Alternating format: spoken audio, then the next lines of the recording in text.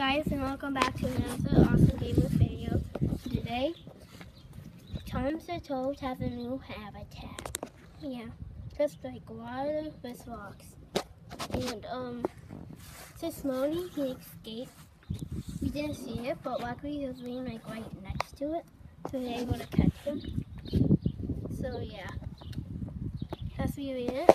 This, this is Tom the Toad's new habitat. There's water and stuff and walks it. And pretty cool. So you can almost like shrimp out, you can see. So I think that's it for the video. Tom the Toad just basically escaped and.